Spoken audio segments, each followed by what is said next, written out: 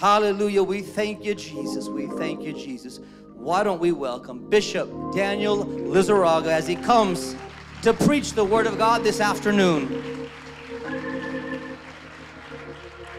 Isn't he wonderful? Oh, isn't he wonderful? Wonderful counselor, the mighty God, the everlasting Father, the Prince of Peace. If you need peace tonight, he's here. I know you felt him already because his train has filled the temple. I feel it. I've got the chills and it's not cold in here. I'm like,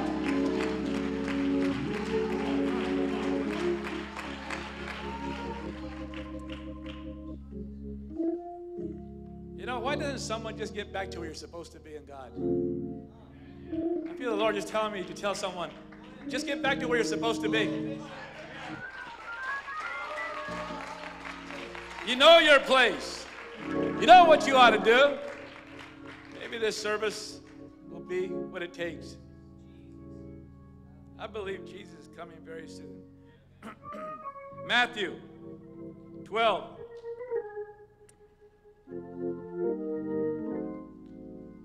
Thirty-eight. Matthew 12, verse 38.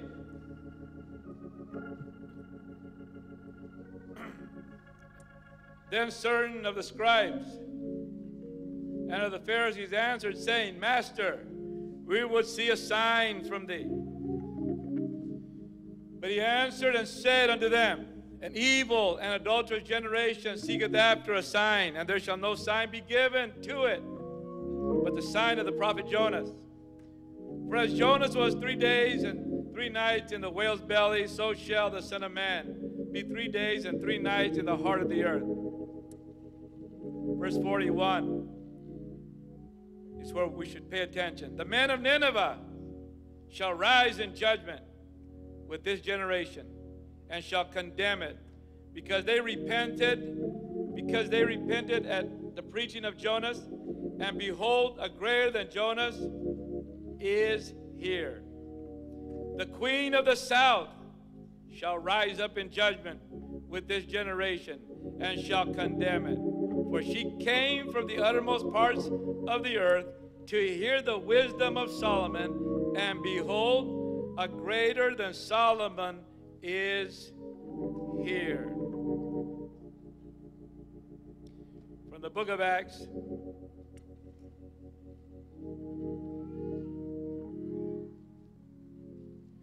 chapter number chapter number 1 verse 23 and they appointed two joseph called barsabas who was surnamed justus and matthias and they prayed and said thou lord thou knowest the hearts of all men show whether of these two thou hast chosen that he may take part of this ministry and apostleship from which Judas by transgression fell, that he might go to his own place. And they gave forth their lots, and a lot fell upon Matthias. In chapter 2, verse 1. And when, and when the day of Pentecost was fully come, they were all in one accord in one place. Lord, tonight I'm asking that you would give me the strength. Lord, I feel the breath of God upon my life right now. Lord, I feel the breath of God upon your children right now. Help me, Lord God, to flow and to be led of it. Speak to my spirit, speak to their hearts, open our understanding, and help us to be enriched by your presence and by your word. Show your will, I pray, in Jesus' name. Everyone said, Amen. Turn to someone and say, I want to hear about the church.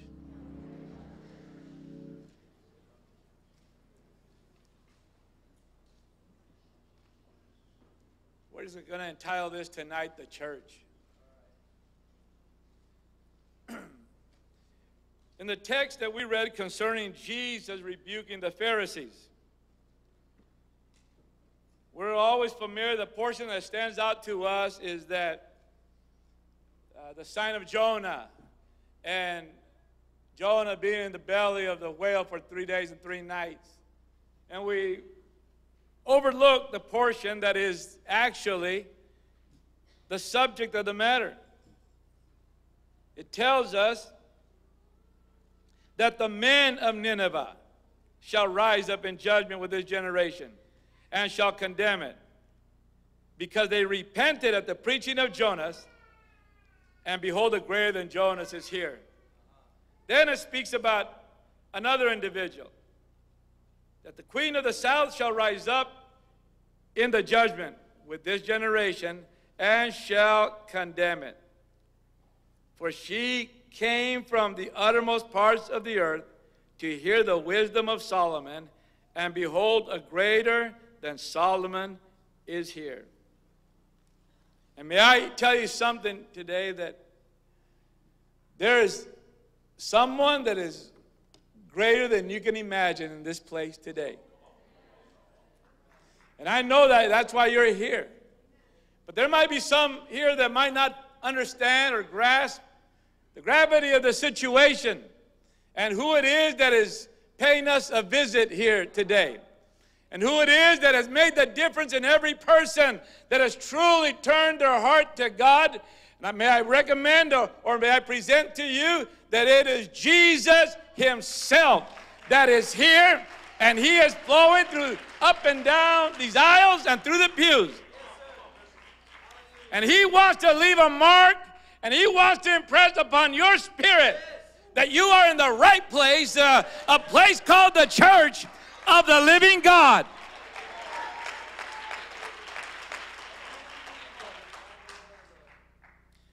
There are a number of things that the Lord spoke to me uh, this morning, and whether I can put it into words, I'm not quite so sure.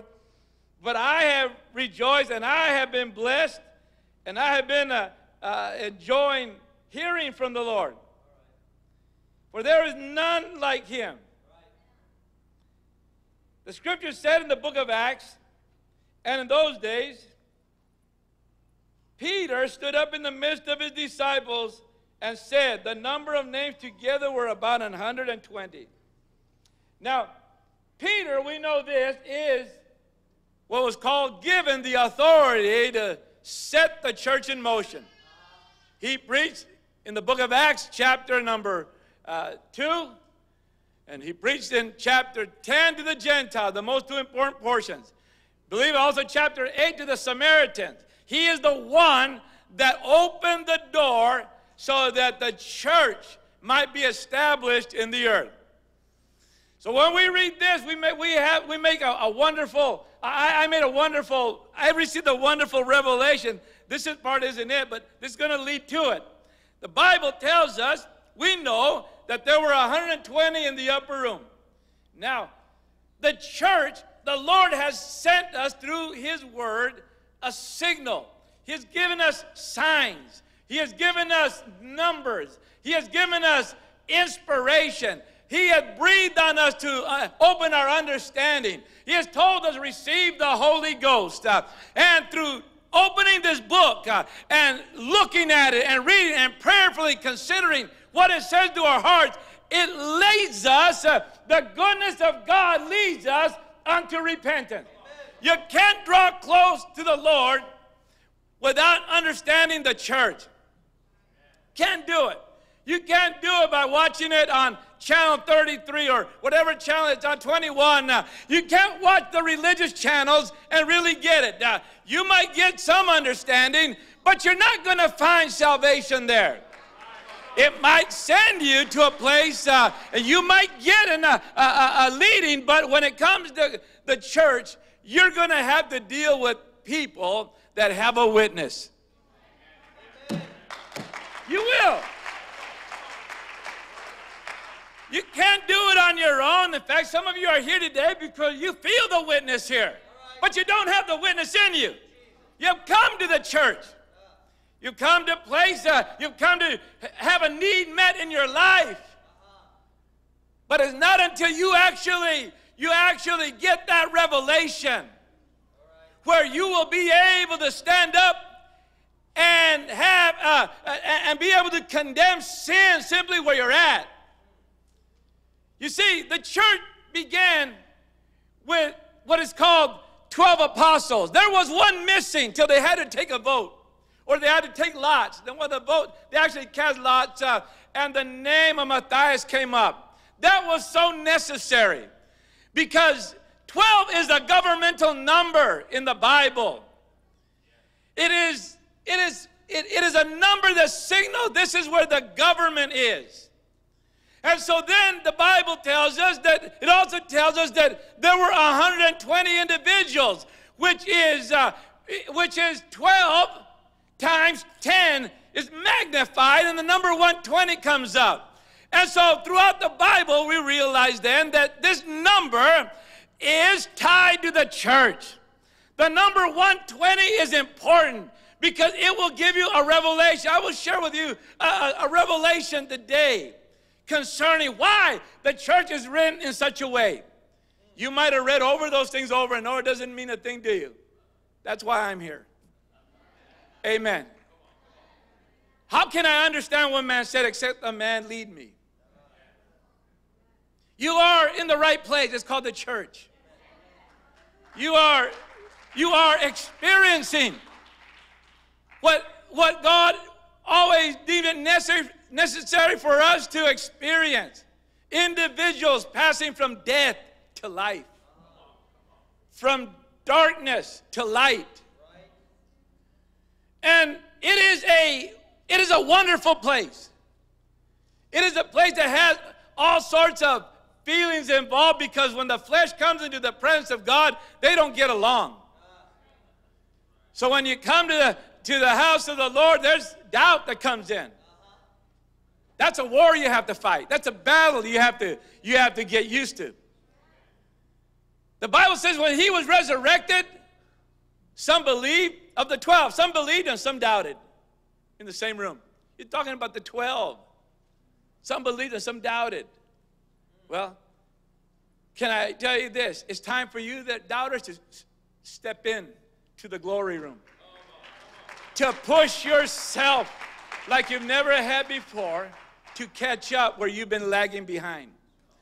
To decide that the fear of the Lord is going to rule your life and is going to is going to guide your steps once you leave this place. And that you are going to grow in the fear and admonition of the Lord. And your life is going to be transformed.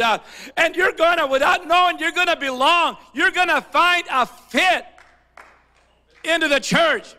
You're going to find your place in the church. You don't want to find it outside. Uh, the Bible tells us that Judas hung himself uh, and went to his place outside the church. But you want to go from the outside uh, and you want to get into the church. You want to be one that through your life shine the light on this evil generation. Jesus looked and saw the Pharisees, who were the religious leaders, and he mentioned to them concerning the sign, they saw the sign. But the important portion was that, you know, he says there's going to come a generation that's going to condemn you all. He said they're going to come and they're going to rise up in judgment because when they heard the preaching, they repented. And you heard it and you won't repent. And then he said, There's a woman, the queen of the south, which is the queen of Sheba.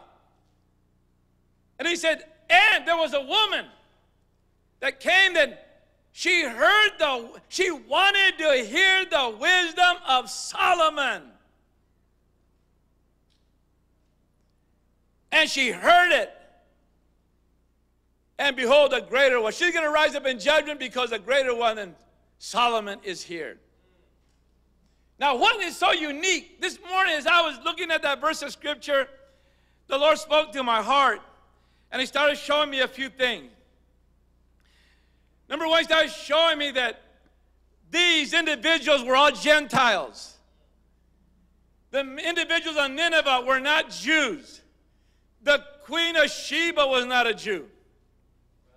And she was look, he was looking at the Pharisees. This is what really cut to the quick when it came to looking at them. They knew who they were talking about. He said, the, the, the ones that don't even know about God are going to rise up in judgment on the judgment day and point their finger at you. He looked and said, and the Queen of Sheba, which wasn't a Jewess either, she wasn't of the nation of Israel either. And she said, You're going to be condemned because she went a long way to hear the wisdom of Solomon. And a greater than Solomon is here, and you won't even listen. Here you were individuals that were so far from God when it comes to the, to the commonwealth and the inheritance of knowing who God was. And one of them received a word from afar off, and one of them came from afar off to hear a word. I don't know what group you belong to today. Today, I don't know if you've come a long way or if the long way has come to you. But I'm here to express to you that if the Lord quickens your heart, run to Him. If there's any wisdom to be shared, uh, bend your ear to hear it. We are living in a time where you have to be inside of what is called the church. You have to be on the inside, and when you're on the inside, it's going to make a difference to those that are on the outside. Your spirit is going to be different. You'll have that spirit of God in you uh, that will convict, if not condemn, uh, those uh, that know Him not. Here you have two individuals that the Lord speaks to us about. It spoke to my heart in a powerful way today. Because when I looked at this, I don't know, I tell you, there's something about me when I when I don't think about things, things seem to happen in my spirit. When I go about, I'll study, I'll read, and I'll do what I need to do, and then I'll start walking around and helping my wife do things and my boys laugh because sometimes I go to Costco before church and I do things that I don't recommend when it comes to shopping before church. But there's a little motor something that runs in my spirit that I don't I hardly can pay attention to anything around me because my mind is going. I just got to get out of the house. I guess I got to do something, get alone in the car. There might be a hundred people in the aisle, but I'm alone. I feel it. And today I, I, I was helping my wife do a few things, and then the, I felt the Lord point something out to me, and I had to go see if it was so. And so I went to the book of, I went to the book of uh, Kings, the Queen of Sheba, and I, I had already read the scripture early, and I look, I went to the chapter number 10, and when the queen of Sheba heard of the fame of Solomon concerning the name of the Lord, she came to prove him with hard questions. So I looked at that and I said, You know, Lord, there's something here you're trying to tell me. And then it struck me. This verse came to me. Verse number 10, I believe it was. And she gave the king an 120 talents of gold now, what I told you earlier, the number 120 means has a stamp of the church. So this one had the stamp of the church. But what made it so interesting is, is that the Queen of Sheba, when it spoke about rising up in judgment, uh, somebody that's not a Jew was going to rise up in judgment. And then the Lord had already put the number 120 there. Then we should look for the church. And this is what the church should be doing seeking out the wisdom. Seeking out the wisdom of the king. I don't care how far you have to travel to seek out the wisdom of the king, to bring a gift when you go to travel to visit the king and bring him a gift to the service of the king. She was a queen. And she traveled, the Bible says, from the uttermost part of the earth and she came because she had heard the wisdom of Solomon. Why some of you are here today is because you heard that Jesus changes lives, that Jesus makes the difference, that Jesus, amen, has the answer. Why? Because he is the answer. I said, He is the answer. If you really need something, get Jesus first. Don't worry. The answer is in Him. Get Jesus first, uh, and the answer will unfold. Get Jesus first. And so the Bible tells us she came to prove him with questions. And the Bible says she looked at all, nothing was withheld from her. That she came it says, and Solomon told her all her questions. There was not anything hid from the king which he told her not. Now, this is such a powerful thought because these two individuals, why did the Lord, why did the Lord sit there and look at them and said, well, these two Gentiles, or these two groups of Gentiles, one of them is a group and one is a single person, they're going to condemn the Jewish Pharisees. Those that, those that pretend to have a walk, but are simply whitened tombstones. There's a lot of religious people that have dead bones on the inside. They look churchy but they condemn nothing when it comes to just being around people. You got to get that in your spirit. There's a lot of people that will point a finger. I'm, that's not what I'm talking about. I'm talking about the way that you act and live and speak, and people don't know what in the world is different about you because they get a little uncomfortable because they swear around you, but you don't swear.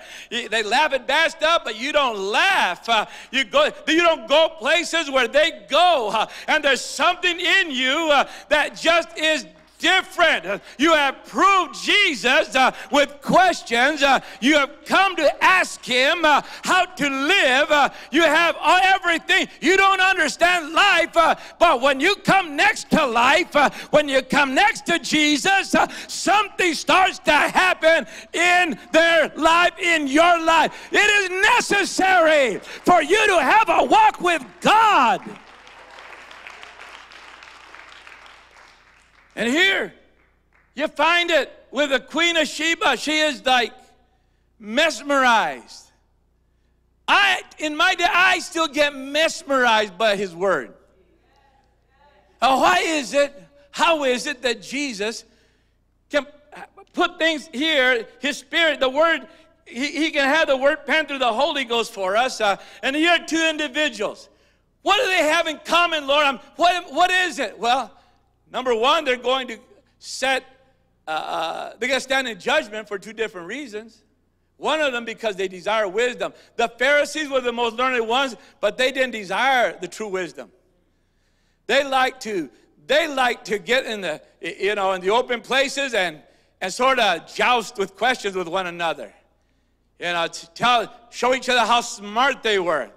Where here was all the wisdom of God embodied in a man, uh, and they didn't even ask the right questions. Listen, when you come to church, ask the right questions. Don't come asking about how to dress and don't come asking of what you do here. Come, uh, is Jesus in this place?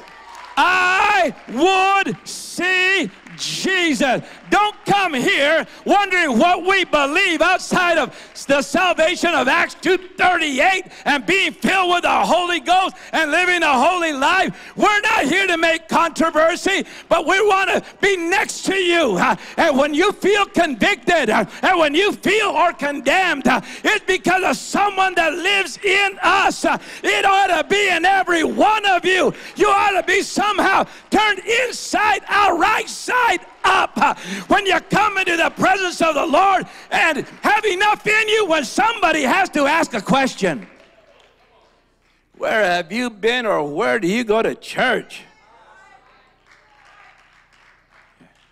¿A dónde vas a la iglesia? Where do you go to church? Whichever it is. Go to church. There ought to be something in us that we learned how to repent. What was the difference? They heard it and they repented. We're living in an atmosphere in a world where there is church without repentance.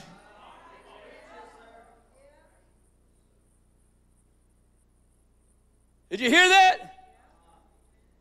We're living in a world where there's supposedly it's all churchy, but there's no repentance. You say, well, what is holiness? I'll tell you what it's not.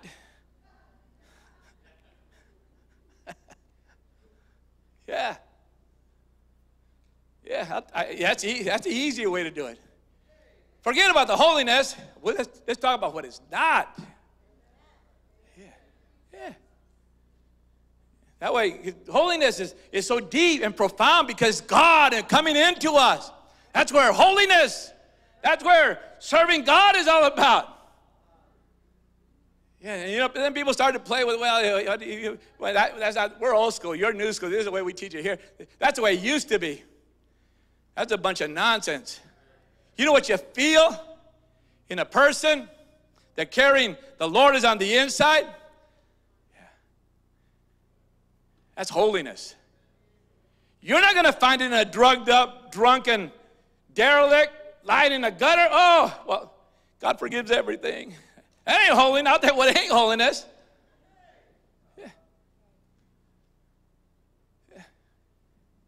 So this is what you have to have on the inside: the Holy Ghost, the the Holy Spirit. I'm old school. Holy Ghost. I don't know why. That's just me. I don't mean nothing by it. Don't get offended. You know. I like Holy Ghost, the spirit of the departed one who came back. Mm, the church. Now notice, I feel bad for you because I felt terrible before I preached, but I'm feeling better now. So I feel, I feel better now. So let's go on just a little bit further.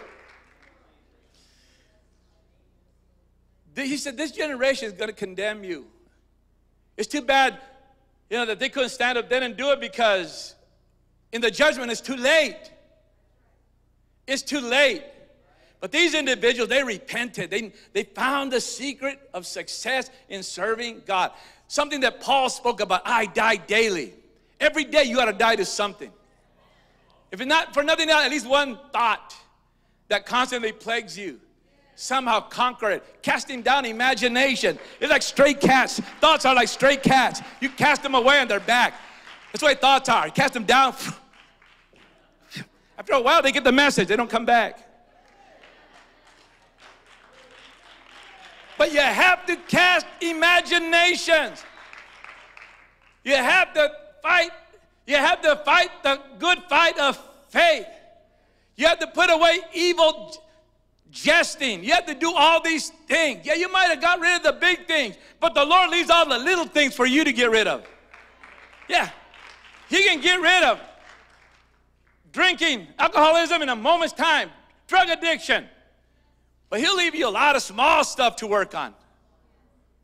And just because you got rid of it, He helped you with the big stuff, doesn't mean you got to get to keep all the little stuff. Well, the Lord didn't take it away like He did my addiction. Oh, He's leaving that up to you. He's leaving that bad attitude to you. Yeah. He, he, he's leaving all that, you know, all those little, other little excesses to you. the Lord didn't want this or that. Well, listen, he's leaving a lot of work to you. You got to fix up this old house. You have to turn it around. You have to make it look so nice that your neighbor's house looks terrible. You can't be the house that makes the other house say, I wish they'd move. Now you got to be that house. Yeah, like next door to your house. Yeah. That's the good house. There you go. I just passed by, I saw that the other day. They said, good for you. Amen. But it's important to be able to have conviction. Oh, that's just your conviction. No, what you're feeling, that conviction, what you're feeling is Holy Ghost in me. It's not just my thoughts. I've been sitting with the wisest one that ever lived. And when you start to take time to sit at the Master's feet, people are going to know that you walked with Jesus. People have to feel that you walked with Jesus. It's better to have them be condemned now, convicted now, than condemned down the road. It's better for you and your spirit to have them ask questions than when it's too late in the judgment. Now, notice what happened. When you look at this, it's a picture of the church, of all, everything that he will do, everything that he will show, everything that he will, he will impart to you, as he did uh, uh to the Queen of Sheba. But what's so wonderful about it, when you read about it, it tells us that the Lord gave her, the Sheba, all her desire. Whatsoever she asked, that Solomon gave her of his royal bounty. Jesus does the same for us. Whatsoever he asked, he said he will do it. Listen, once you get your mind right and you've been with Jesus, you'll start asking the right asks. You'll know what to ask for. You won't be asking like all sorts of things, you know. You won't be asking for Mercedes Benz when you still live in a little shack. When you get your mind right, you're going to get the car you need. But you'll get what you need. If it's not a car, you'll get the bike you need. And if you're not at bike level, you'll get a skateboard that you need. Whatever it is, he will give you what you need. Maybe not what you want, but He'll give you what you need. Whatsoever you ask in my name, He said, I will do it. The Queen of Sheba is a picture of the church. It says she brought him 120 talents of gold. Therefore, we know that's the church that has their faith tried as by fire. Our faith is like gold tried by fire. It is being perfected through every problem that you have, every single problem that you have. Endure it. He will not give you more than you are able. Endure it. You're lonely, endure it. You're sick, endure it. Being tempted, endure it. Blessed is the man that endureth temptation. For you're going to receive a crown of life. Endure it. It is perfecting your faith. It is the gold that Sheba had. It is what she came. And this is what I have. She gave him the gold. This is my faith. Or what do we give him? We give him our faith that is tried in the fire. That's what the Lord looks at. That's why you and I are going to stand in the judgment with the Lord and is going to condemn a lot of other people as to what they could have done. We weren't raised in this thing. I lived for 20 some odd years about 100 yards from an apostolic church, and I never knew what was in there. I walked about by it a jillion times. Would stop when they were having church, and I tried to look through the double doors. But the doors were never open. When they weren't open, the other ones were closed. Me and a brother one time, I don't know what got into us, but we would hear them in there. What are they doing there? I don't know, man. They're crazy. We, we would run, we ran over there all sneaking and threw ourselves underneath the coolers and no, working. We look in there, couldn't look in there. It wasn't until I was 21 years of old, 21 years of age that I ended up getting baptized there. The first, and then I realized all this, all this, all the answers, all the way of life, everything that God has is locked up in that shabby little building over there. Believe me, you wouldn't go to that church the way it looked. The only reason I went there is because my wife, before she was my wife, went there. That's wisdom.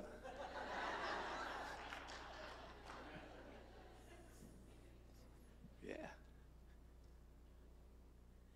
So you, when you come to the house of the Lord, church, Lord, to the house of the Lord, you learn, you come for wisdom. You've already been baptized, uh, you've already been filled with the Holy Ghost. Uh, come and listen. Get a hunger for wisdom. If any man lack wisdom, let him ask of God who giveth liberally and upbraideth not, and it shall be given. If your life is just out there right now and you don't know really where you're going to end up, listen, stay in the church. Find yourself your local church, whatever it is you need. It doesn't have to be this one, but it has to be one with the imprint of the 120 uh, that were originally baptized in Jesus' name. Find yourself a place with the wise. I said, find yourself a place uh, with the wise. Then the Bible tells us, look it how, how beautiful this is. If you read, I believe it is the 14th verse, there's a chain, excuse me, wait. It says, uh, so she turned and went, verse 13, and went to her own country, she and her servants. And then the church is gone, the Sheba is gone. And then this verse of scripture comes up. Now, the weight of gold that came to Solomon in one year was 600, three score and six. Six, six, six. So after she left, when you read the story of Solomon, he is like the Antichrist from that portion on. His heart is turned. He becomes idolatrous. He becomes a, a wicked man. He starts to learn the, the evils of, he puts the idols of his wives inside the temple. He defiles the temple that had been so beautiful that he had erected, and he made it, filled it with idols. So from that time, 666 appears. Now, what does that tell us? It tells us this that the church will not be here when the Antichrist comes. That the church will have already returned back to where she, where she really belongs.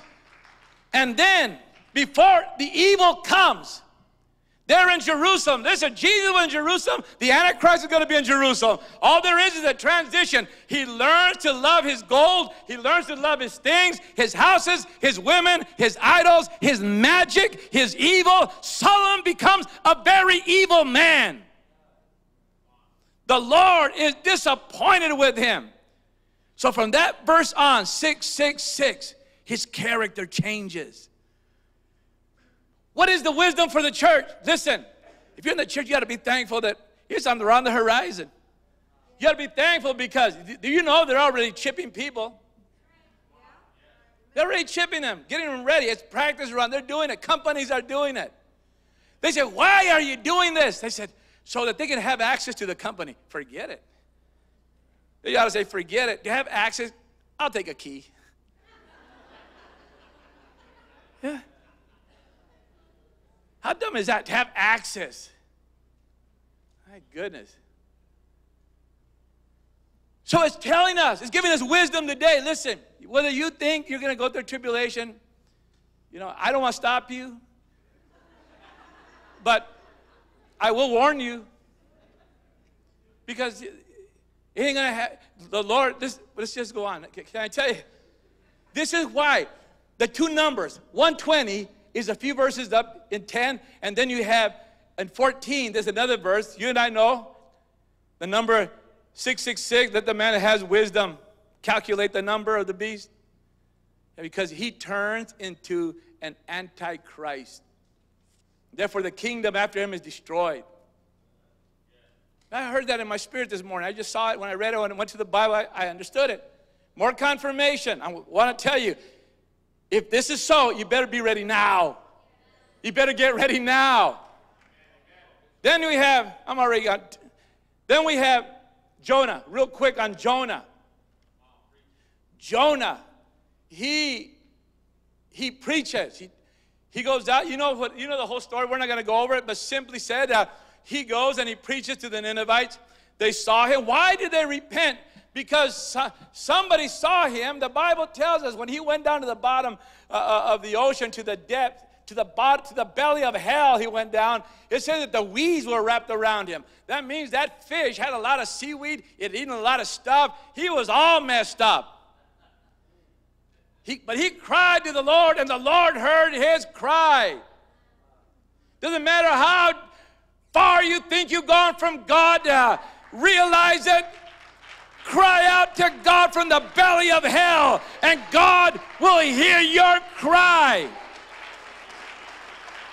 He is the sign, He is a symbol. Why did they believe Him? Because they must have seen the fish come on up Talk about an uber fish. Uh, that thing showed up, uh, spit him out. Uh, that thing, he was, he must have been, the Bible said he had weeds wrapped all around him. The previous verses, he must have come out looking like vomit. But the thing was, he was alive. Nobody had ever seen anything like this. He was a sign. There he's headed for Nineveh. Hey, there's people saying, oh, you, listen, I don't know what this boy is going to say, but you better listen to him, for he came from he came from the from a fish. It's miraculous. This man was should have been dead, but is alive.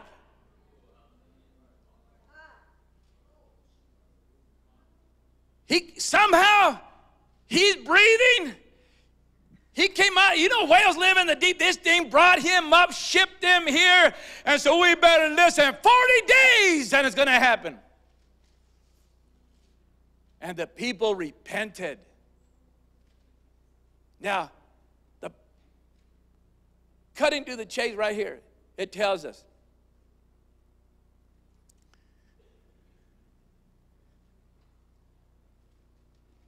It tells us that the Lord did not destroy them because they repented. They simply repented. The power of repentance. Can I tell you? Don't ever stop repenting. The church must never stop repenting. Doesn't mean you backslid. It tells you, well, you might have, but if you backslid, repent. But every day we sin, no matter what, in thought or in deed, or, or something happens in our life where we're not the, we miss the mark. It might just be a weight. I'm not talking about you fall into adultery every day. Repent. I'm talking about things happen in life. That can happen. You better learn that one time. Because after that, it becomes a habit. You're just a flat out adulterer. But we're talking about when a person repents. Repentance, when you learn repentance, you don't do it no more. That's repentance. You stop doing stuff. After a while, you start perfecting yourself in the fear of God. You start talking to your husband right, in the right manner. Not when he walks in the door, Where were you? I can't hear you.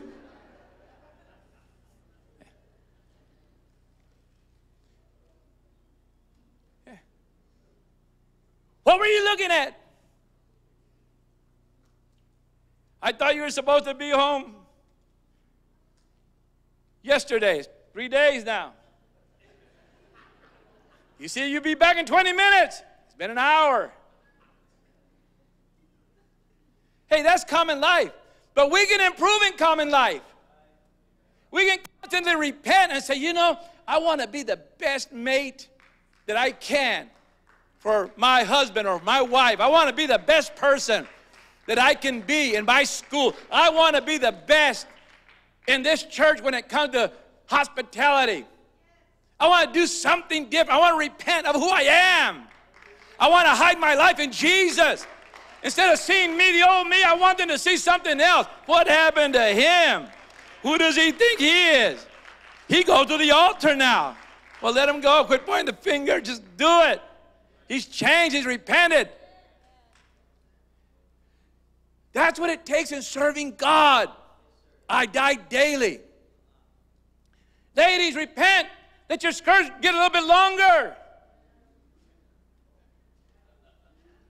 I'll amen that. Amen, Bishop. Yeah. Yeah. For, at least for church. Start a church. He said, Bishop, don't. Yes, yes, yes. I believe in, in, in having to tell you sometimes, listen, it's modesty. That's what repentance is. It is modesty. Before that, we weren't modest. Before I was in church, I didn't like my wife modest. I found her that way. She came to church and I said, Is that my wife right there? Yeah, she's about four inches shorter.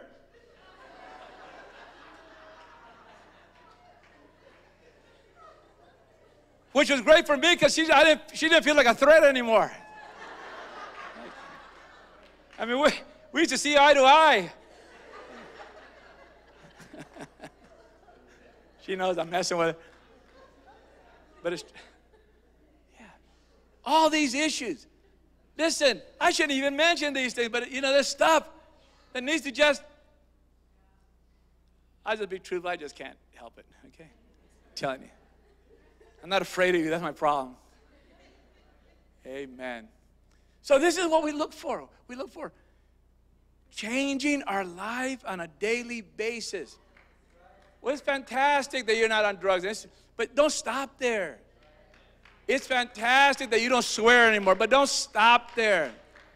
Keep going. Keep being, keep being, wanting to be in the image. Now, here's, I'm going to close with this before I go into a pastor's situation. Thank you, brother. Please help me. Now, his timing is a little bit different. See, is that all right?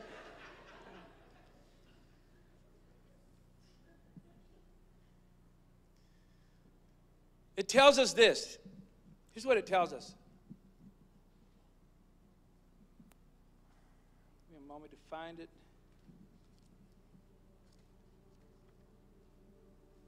Jonah. Jonah was upset because the Lord didn't destroy Nineveh when he said he would. The Lord said, 40 days and I'm going to destroy it. 40 days. Came and he didn't do it. That's God. That's God's word. God only changes his word and he only changes his blessing for one reason only repentance.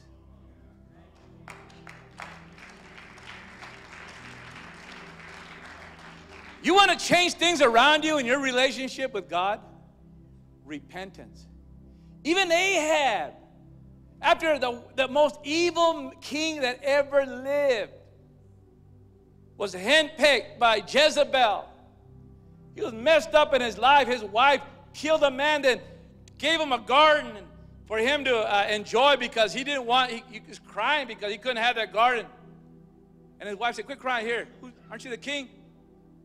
Had the man killed. Sent Ahab, guess what? It's yours.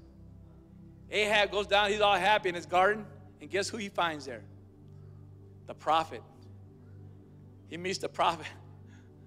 Listen, this is why sometimes you run into me different places, all right? Here's why I see the top of the little head going through the store.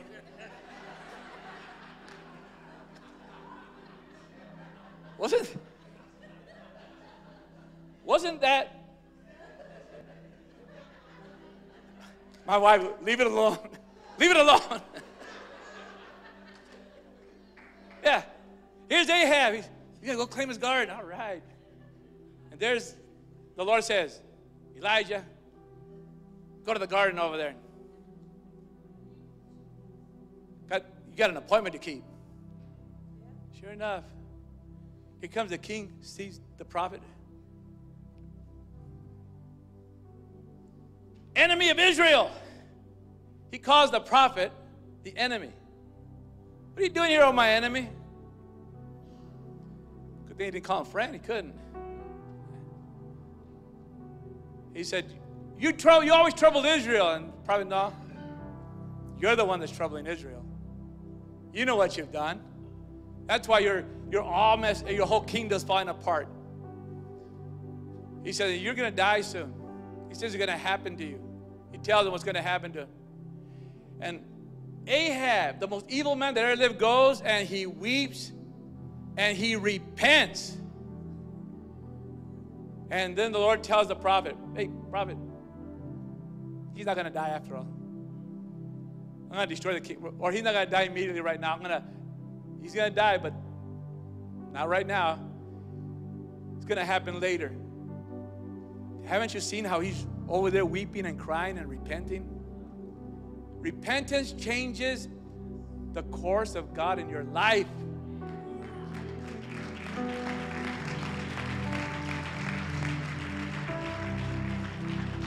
That's what the church is. The church thrives on repentance It doesn't thrive on music and it doesn't thrive on, on personality and it doesn't thrive. Oh hey that's where all the famous people go. No it doesn't thrive in that fashion. It thrives on repentance. That's where a church thrives. So that when you go there for two or three are gathered together in a name people feel it. Hey that's church there. That's church there. So then it makes this statement in closing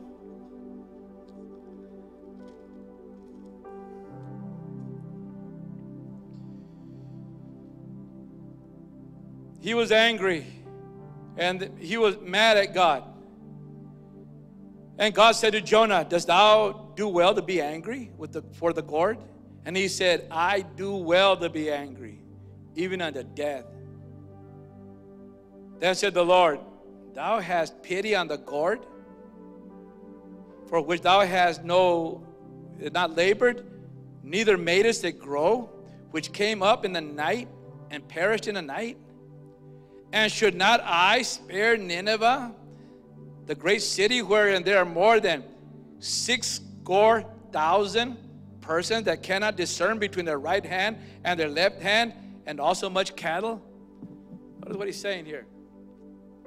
He's saying there are 120,000 people that have repented There's 120 at least. That's the number of the church. That, that tells you this is the proper interpretation. This is why these individuals are going to stand in judgment. Because the, there's 120,000 of them. He said that they don't know the right from their left. They don't know right from wrong. They've only had a preacher barely to repent. And they repented. Even the cattle repented. Don't feed them for all these days. Yeah.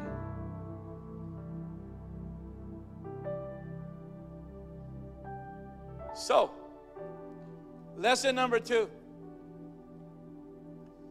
The Lord again, the Queen of Sheba, the Antichrist. The men that repented and destruction. The Lord will not destroy the righteous with the wicked. He said, I can't destroy it now. Somebody repented. And there's a certain number of them that they repented. That's to let us know that's the way the church is. You know why? The tribulation has not started yet because you and I are here. We're still here. And not till we're taken out of here that destruction is going to come. So if you stand with me tonight, I want to share with you one secret. Repentance is the need of the hour. Repentance is the attitude that we, we come to face face to face with a holy God. That we're going to do better. That when we went to church and we felt something, that I've got to do better because I know that He's real and that He's alive and that He, I am here because He called me to come. When you get it down in your spirit, your life is going to transform, it's going to change. What were you doing different? Well, you worked harder at one thing repentance. Your thought patterns. You stop thinking evil about repentance. Everything around you is going to seem brighter. You're going to want to live. You're not going to be bored with your life. You're not going to want excitements that, that of no avail because there's going to be a satisfaction in your life. I want to open this platform. I want to thank you for your patience. I was sick. I'm feeling much better. I want thank you for whispering a prayer for me. I want you to come. Open your spirit to the Lord. The church, the church runs on repentance. Quit seeking gifts without repentance. Quit seeking blessings without repentance. Stop seeking answers without repentance. It's a way of life, it's a way of being. Stir it up within you.